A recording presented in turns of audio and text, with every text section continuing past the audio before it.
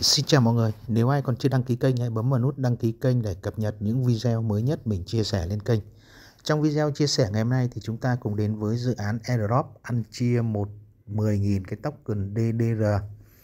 Và để tham gia vào dự án này thì mọi người cần bấm vào đường link dưới phần mô tả. Sau đó thì đăng nhập vào biểu mẫu Glam.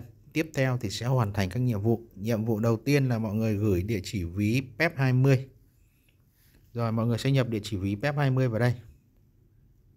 Rồi sau đó chọn Continue. Nhiệm vụ tiếp theo follow Twitter. Chọn follow. Rồi chọn theo dõi. Quay trở lại với biểu mẫu chúng ta kích chọn Continue. Tiếp theo retweet lại cái bài game của nó. Rồi. Thường thường thì các nhiệm vụ trên biểu mẫu Glam thì nó rất là giống nhau và làm rất là nhanh. Đây là chỉ mất khoảng 1 đến 2 phút thôi nhé. Rồi, sau đó quay trở về.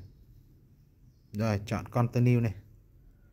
Tiếp tục lật tweet lại cái bài đăng của nó. Ở đây mọi người chọn tweet. Sau đó kích chọn đăng tweet. Rồi, quay trở lại. Chấm chọn continue.